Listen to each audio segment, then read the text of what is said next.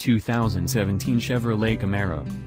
It might be unfair to refer to the Mercedes-AMG C63S Coupe as a Chevy Camaro, but it is no insult.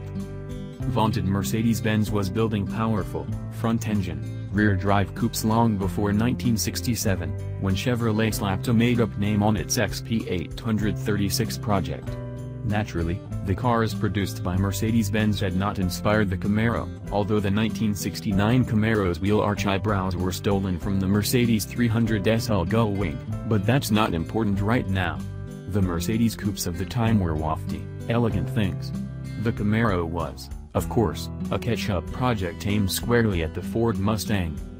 But a curious thing happened in the late 90s and early 2000s, Mercedes started producing the CLK 430 and CLK 55 AMG, chubby little coupes that hewed closely to the, by then, well-established muscle pony template. The brief goes something like this, overpowered, hooligan handling, de facto two-seaters. By the time Mercedes began building Camaros in earnest, the actual Camaro was already wearing the mullet like an albatross about its neck.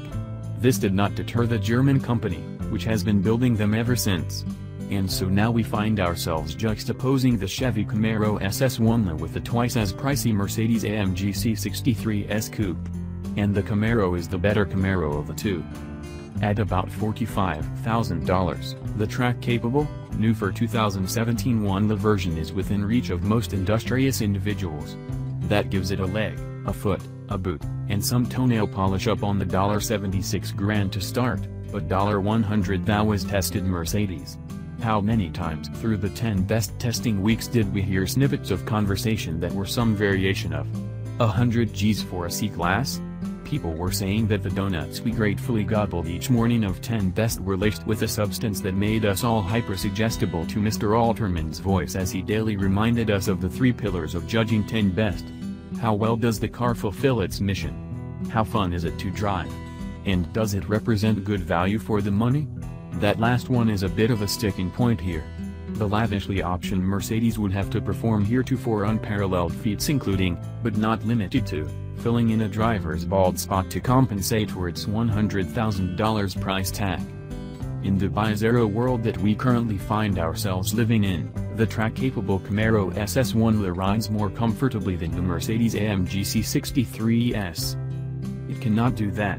What the C63S can do is whip off 3.8 seconds 0 to 60 mile per hour runs, top out at 180 miles per hour, and pull 0.98 grams on the skid pad, all while convincing its driver that he is a master of all he surveys, even if he is still balding.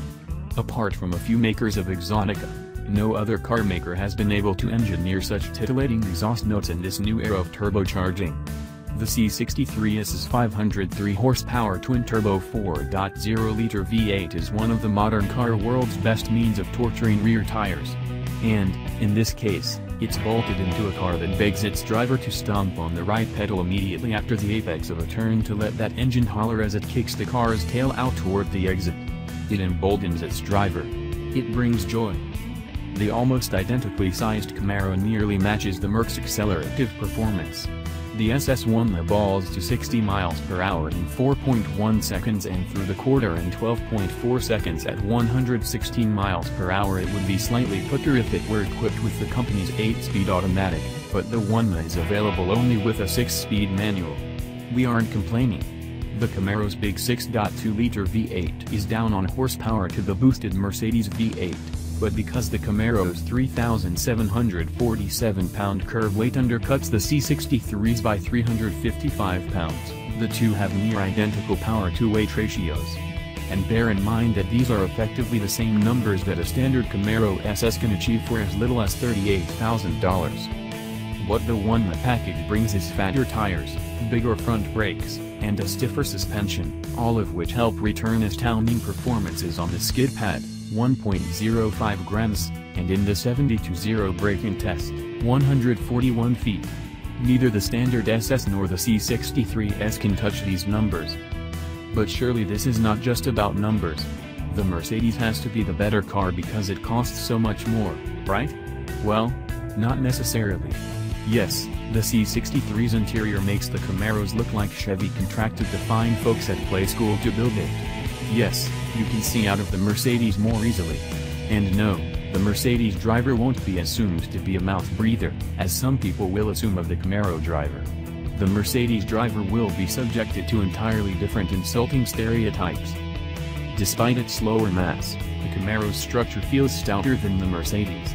And despite the super low profile tires, it simply rides more comfortably than the Mercedes, which feels unyielding as it jiggles over pavement chop, never letting you forget that you bought the AMG ticket and now you must take the AMG ride.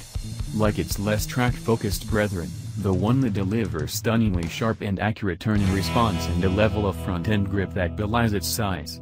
And like the other Camaro coupes, its steering is nicely weighted and accurate to a degree that those unfamiliar with the newest Camaro would simply not believe.